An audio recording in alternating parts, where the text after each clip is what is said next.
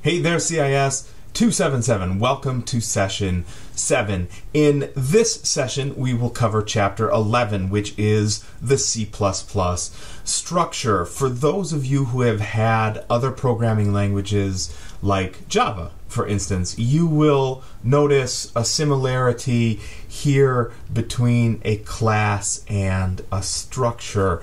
Let me just foreshadow a little bit here. Um, I will tell you that a class and a structure in C are not the same. They have to do with access and what can use a structure. Um, a structure is a public.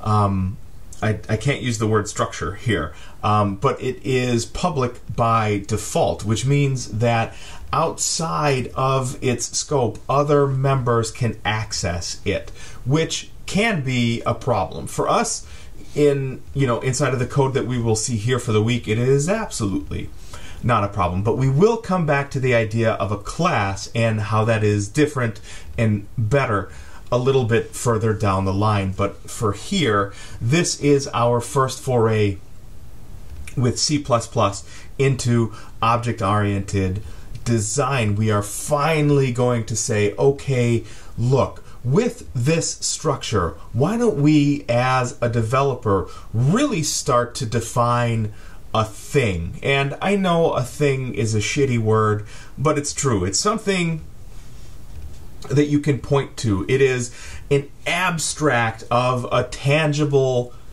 entity that is of value to your organization.